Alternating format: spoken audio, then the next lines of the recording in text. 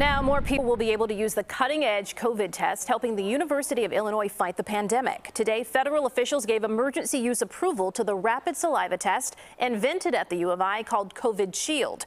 The university has been using it for months.